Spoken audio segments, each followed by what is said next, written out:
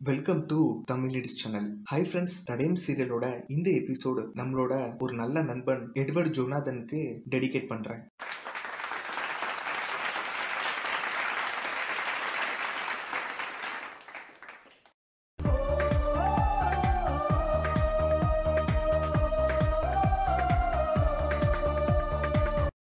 இந்த எபிசோடோட ஸ்டார்டிங் சீன்ல ஒரு கிராமத்தை காட்டுவாங்க. அந்த கிராமத்துல எல்லாருமே நல்லா படிச்சிருப்பாங்க. அந்த ஊர்ல ஆனைமுடின்னு ஒரு தொண்ணூறு வயசுல ஒரு தாத்தா இருப்பாரு. அவர் யாருக்கிட்டுமே பேச மாட்டாரு. அதே நேரத்துல அவர் கண்ணை மூடிட்டு இருப்பாரு. அந்த ஊர் மக்கள் எல்லாருமே காலையில எந்திரிச்ச உடனே இந்த ஆனைமுடி தாத்தா கிட்ட அவங்க கொஞ்சம் பணம் காசு இது எல்லாமே கொண்டு வந்து கொடுப்பாங்க. அப்ப அவர் அந்த காசு பணத்தை எல்லாத்தையுமே வாங்கிட்டு ஆசீர்வாதம் பண்ணுவாரு. இந்த ஊருக்கு மதியழகன்னு ஒருத்தர் அவரோட குடும்பத்தோட வாடகை வீட்டுக்கு கூடி வருவாரு. அப்ப இந்த ஊர் மக்கள் செய்யற சம்பிரதாயம் இவருக்கு புதுசா இருக்கும். அப்ப மதியழகன் காலையிலே எழுந்து இந்த மக்கள் காசை கொண்டு போய் அந்த வயசான தாத்தா கிட்ட கொடுக்கறதும் அந்த தாத்தா இவங்களுக்கு ஆசீர்வாதம் பண்றதும் பாப்பாரு. அப்ப மறுநாள் மதியழகன் பக்கத்து வீட்டுக்காரர் ஒரு வைத்தியரா இருப்பாரு. அப்ப அவர் மதியழகன் கிட்ட கேட்பாரு என்ன நீங்க வரலையா என் கூடன்னு? அப்ப மதியழகன் சொல்வாரு இப்படி தினமும் அந்த வயசான தாத்தா கிட்ட காசு கொட்டி கொடுக்க என்கிட்ட வசதி இல்ல. அதனால நான் வரலன்னு சொல்வாரு. அப்போ அந்த வைத்தியர் சொல்வாரு நீங்க ஒரு நாள் கூட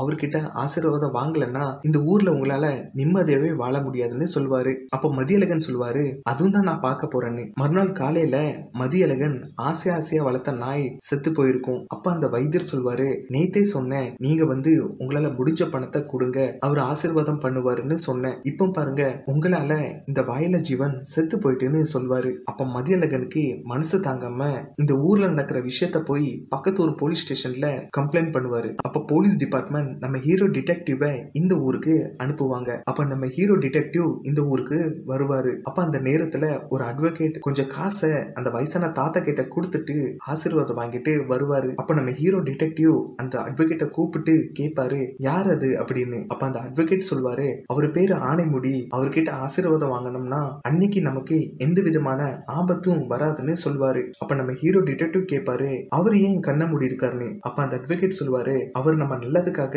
இறைவன் கிட்ட வேண்டுறாரு.